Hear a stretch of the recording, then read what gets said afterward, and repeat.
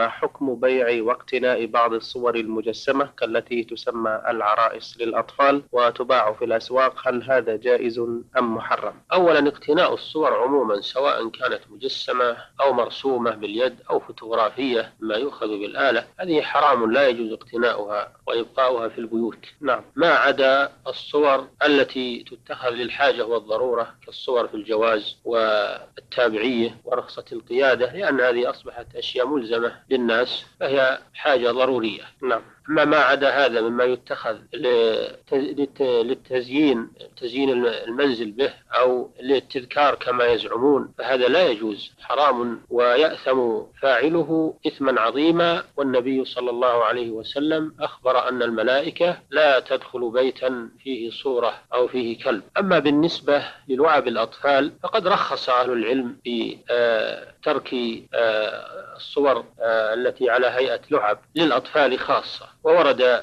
الدليل بذلك عن النبي صلى الله عليه وسلم أنه رأى مع عائشة وهي صغيرة طفلة رأى معها شيئا من هذه الصور وتركه. فلعب الأطفال يسمح أو يتسامح بها إذا كانت آه، للأطفال خاصة. على أن الصور التي وردت في الحديث لا يتبين أو يتحقق أنها على نمط الصور الموجودة الآن. نعم. إنما قد تكون صور مركبة من أعواد أو ما أشبه ذلك مما كان معروفا في ذاك الوقت وإلى وقت قريب. معروف لعب الأطفال أنهم يركبون أعوادا أو عظاما ويجعلون عليها شيء من الخرق على شكل أو يقارب مثلا شكل لباس آه اللباس ل آه يتمرن عليها الأطفال ولي أيضا اللهو والتسلية لتسليتهم نعم. وليس فيها محذور. أما هذه الصور الموجودة الآن التي كأنها تحاكي الأجسام بألوانها وأشكالها هذه الذي ينبغي أن تتلف وأن لا تبقى حتى ولا مع الأطفال وإنما يتخذ الأطفال صورا مما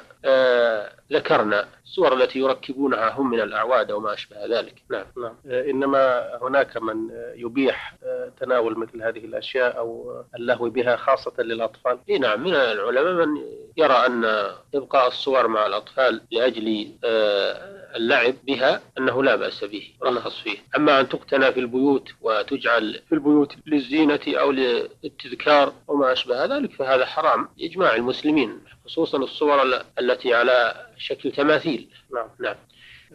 هناك شيء آخر آه، الذي هو مثل بعض الحيوانات أو الطيور بعد أن تموت آه، ربما تحشى جلودها بما يشبه جسمها وهي حية وتبقى كشكلها وهي حية وتوضع في البيوت للزينة. هل تأخذ هذه حكم الصور أو؟ تأخذ حكم الصور لأنها من العبث و... ولأنها وسيلة أيضا وسيلة إلى التوسع في هذا الأمر وأن تتخذ الصور المجسمة على إذا فتح هذا الباب. نعم. نعم. أو أيضا حتى ولو كانت طيور محنطة أو تحنيط حيوانات محنطة لا ينبغي هذا لأن هذا من العبث ولا مصلحة فيه ولأنه فتح باب لاتخاذ التماثيل. نعم.